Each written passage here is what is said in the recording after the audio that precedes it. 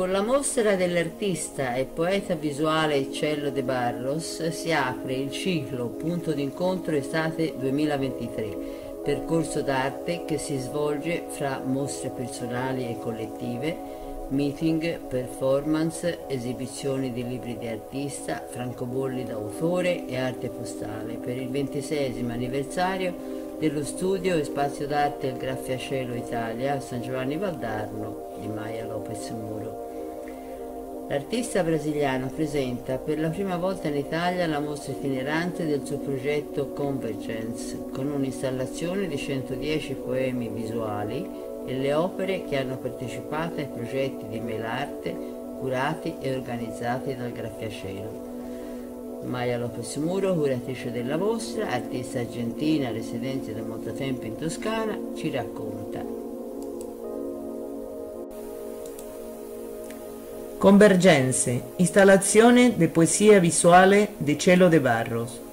Studio e spazio d'arte il Grafiacielo, San Giovanni Valdarno, Italia. Muro poetico, il laberinto verbale. Per chi non conosce la poesia visuale, tramite le opere di Cielo de Barros, entra col modo e nel mondo giusto. Quella convergenza che sembra magica, una vera alchimia dove lo spettatore apre lo sguardo all'opera e l'opera si offre senza ostacolo alcuno, come in un divenire, una simbiosi che finisce per catturarci e ingressare inconsapevolmente nella comunicazione visiva, comprendendo e interpretando con la innocenza di un bambino, come in una favola, ciò che il poeta, con i suoi segni e i simboli, ci ha voluto esprimere.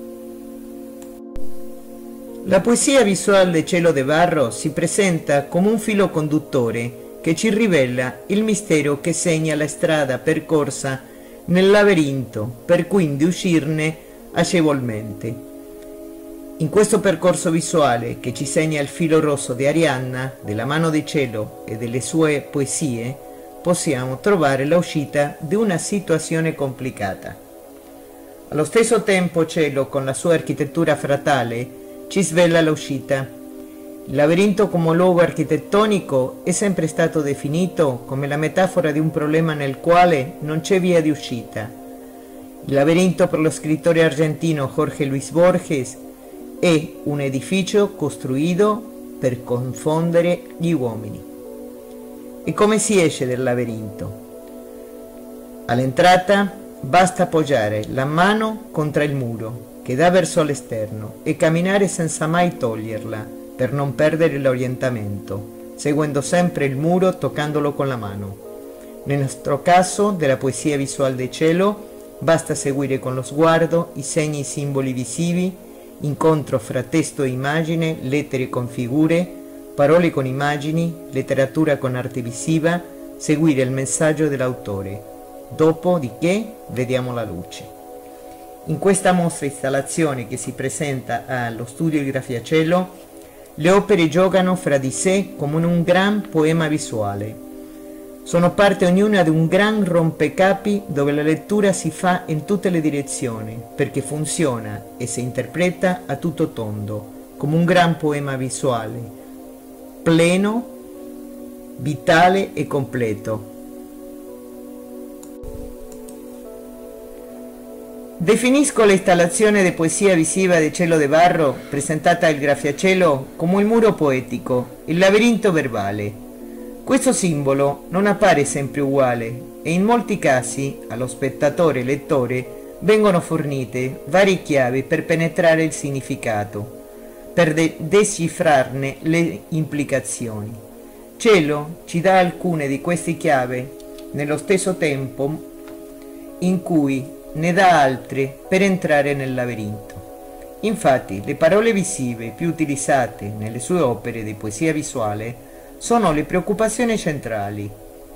Si tratta di concetti elementari, carichi di significati e toni diversi, che servono a guidarci nelle loro letture, allo stesso modo in cui un segno o una freccia o un filo rosso ci guida a un bivio a scegliere la strada o la direzione da seguire, ma secondo me il primo suggerimento che farei ai lettori o spettatore che visitano la mostra è quello di leggere le opere in tutte le sue direzioni.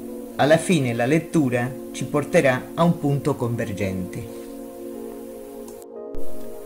Cielo sfrutta i simboli forniti dalla tradizione, dalla iconografia, dalla letteratura, dalla filosofia e dalla scienza, dalla vita quotidiana e crea il suo proprio linguaggio, rendendo le sue poesie visive un simbolo molto personale.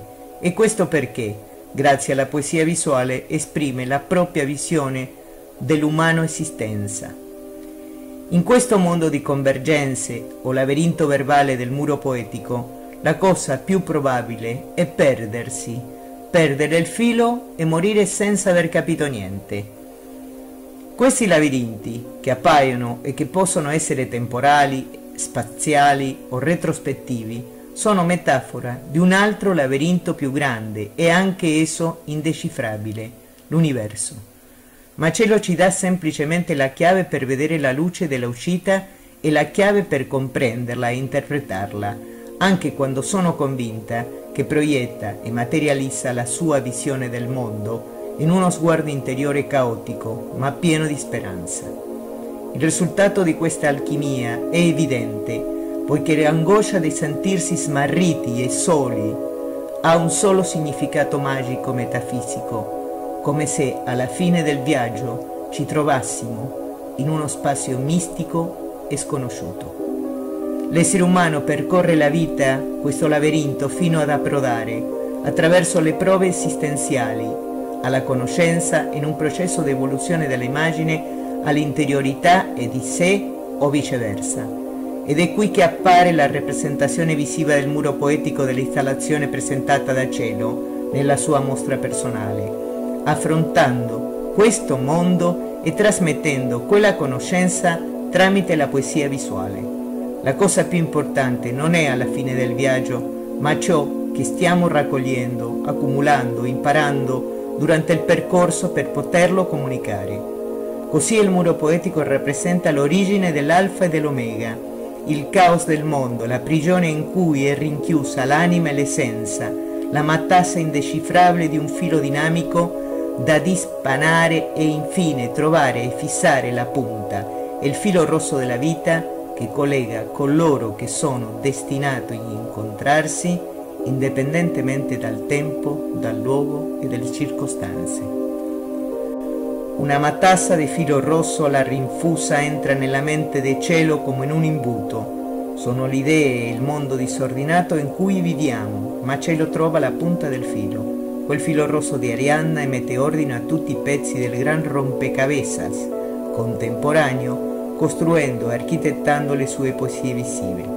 Quel filo che ci unisce nella poesia visiva e nella vita e ci fa trovare nello stesso punto, filo universale punto d'incontro dove convergono tutte le idee, i dubbi, le sensazioni, i sentimenti, i pensieri e tutte le direzioni. E come disse Borges, uscirò del laberinto quando lo faranno tutti gli altri. San Giovanni Valdarno, Studio d'arte e grafiacielo, Muro poetico, laberinto verbale, junio 2023.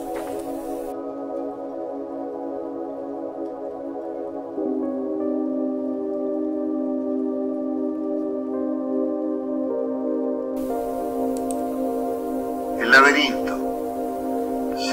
no podría desatar las redes de piedra que me cercan.